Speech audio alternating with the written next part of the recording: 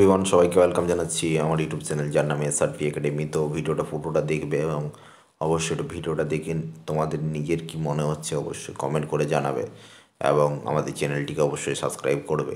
তো প্রথমে বলে রাখি যে এই ভিডিওটা পুরোপুরি একটা গেসের উপর বানানো, অনুমানের উপর বানানো।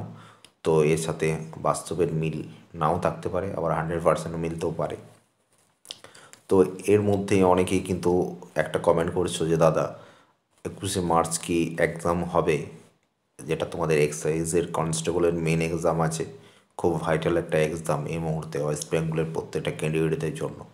তো সেটার এক্সাম কি একুশে মার্চ হবে? এটা কিন্তু অনেকেই কমেন্ট করছ, আবার অনেকেই কমেন্ট করছ, আঠাশে ফেব্রুয়ারি কি হবে পরীক্ষা? তো প্রথমে বলে রাখি, তোমরা জানো সবাই যে সিভিল ডিফেন্সের একটা পরীক্ষা দেখবে। এখনও ফ্রিলি পরীক্ষা যেটা হওয়ার কথা এখনও হয়নি সেটা। যেটা বিশে মার্চ বা একুশে মার্চ এই ধরনের কোনো একটা ডেটে হওয়ার কথা ছিল। তারপর কোভিড সিচুয়েশনের পর সেটা পসপন্ড হয়ে যায়। পরবর্তী ক্ষেত্রে সেই এক্সামটা এখনও নেওয়া সম্ভব হয়নি ওয়েস্ট বেঙ্গল পুলিশের নিয়োগের ক্ষেত্রে। তো সেই পরীক্ষাটার নাকি একটা খবর পাচ্ছিলাম যে আঠাশ তারিখে নেওয়ার কথা ছিল, কিন্তু সেটা ক্যান্সেল হয়েছে নাকি কোনো কারণে। তো একটা কথা বলে রাখি যে, অবশ্যই পরীক্ষা সবাইকে দিতে হবে। মেন এক্সাম মাঠ হয়ে যাওয়ার এক মাসের মধ্যে হয়ে যায়, দেখা গেছে। ওয়েস্ট বেঙ্গল পুলিশের ক্ষেত্রে দেখা গেছে দু হাজার উনিশের ক্ষেত্রে দেখা গেছে সেটা বেসিক্যালি দু হাজার আঠারোতেও ভোট পড়ে গিয়েছিল এবং ভোটের জন্য দু হাজার আঠারোর এক্সামটা হয়নি মাস ছয়েক দেরি হয়েছিল। দু হাজার উনিশের এক্সামটা কিন্তু এক মাসের মধ্যে হয়ে গেছিল। তো ওয়েস্ট বেঙ্গল রিক্রুটমেন্ট বোর্ড খুব তাড়াতাড়ি রিক্রুটমেন্ট করে, ওয়েস্ট বেঙ্গলের বাকি যে রিক্রুটমেন্ট বোর্ডগুলো আছে তার থেকে। তো অবশ্যই একটা পজিটিভ তোমরা খবর এবং একুশ তারিখে তোমাদেরকে একটা বলে রাখি, একুশে মার্চ কি পরীক্ষা হতে পারে। যেহেতু এবার ভোট আছে, সেহেতু কী হবে, যদি কোনোভাবে ভোট ডিক্লেয়ার হয়ে যায়, সেটা মেনলি একুশে মার্চ হবে কি পরীক্ষা হবে না, সেটা জানতে গেলে তোমাদেরকে আজ থেকে জানা সম্ভব নয়। এর মধ্যে কোনো পিডিএফ পেলেও তোমরা পেতে পারো। কিন্তু আমি তোমাদেরকে বলব, তোমরা তোমাদের যেভাবে স্টাডি সেই স্টাডি চালিয়ে যাও। তোমরা যদি একুশে মার্চ না হয়ে ভোটের পরে হয়, সেক্ষেত্রে এক্সট্রা টাইম পাবে। আবার যদি একুশে মার্চ হও, সেক্ষেত্রেও তোমাদের কোনো চাপ নেই। তাই এই অহেতুক এই কোশ্চেনগুলো করে লাভ নেই কোনো।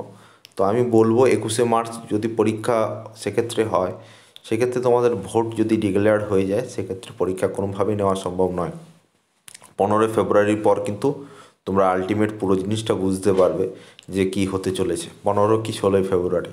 তো পনেরো বা ষোলোই ফেব্রুয়ারি যদি ভোট ডিক্লিয়ার হয়ে যায় কোনোভাবে যেটা কোড অফ কন্ডাক্ট আছে, আদর্শ নির্বাচন বিধি যেটা মোরাল কোড অফ কন্ডাক্ট সেটা যদি লাগু হয়ে যায়, সেক্ষেত্রে কিন্তু পরীক্ষা নেওয়া সম্ভব হবে না। ওয়েস্ট বেঙ্গল রিক্রুটমেন্ট বোর্ডের তো সেক্ষেত্রে আমি মনে করতে পারছি মানে ঠিকঠাক, আমি আমার মতে একুশে মার্চ কিন্তু হওয়া খুব চাপের।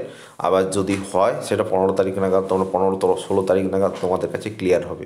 তাই সবাই মেন এক্সামের জন্য এই কবে এক্সাম হবে এই বিষয়ে না ভেবে তোমরা কিন্তু মেন এক্সামের জন্য নিজের সেরাটা দাও। এবং যারা যারা মাঠ পাস করেছ অবশ্যই, কারণ মাঠে কিন্তু বেশি ছেলে পাস করেনি।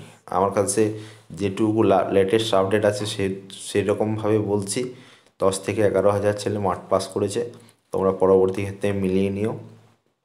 তো এটাই ছিল আজকের কথা। অবশ্যই তোমরা ভিডিওটাকে লাইক করবে এবং এই যে তোমাদের এর মধ্যে এই যে ভ্রান্ত ধারণাগুলো হয়ে গেছে যে একুশে মার্চে পরীক্ষা হবে, আমরা কি করব, না করব, এইটা ভাবতে তোমাদের যতটা সময় চলে যাচ্ছে, বিভিন্ন ইউটিউব চ্যানেলগুলো ঘুরে তোমাদের যতটা না সময় শেষ হচ্ছে, তার থেকে তুমি ওইটুকু সময় যদি মেন এক্সামের জন্য লাগাও, সেক্ষেত্রে দেখবে তোমরা অনেকটা কোশ্চেন কমানো পেয়ে যাচ্ছ এবং কোশ্চেনের অ্যান্সারও ভালো হচ্ছে নাম্বারও ভালো তুলতে পারছ।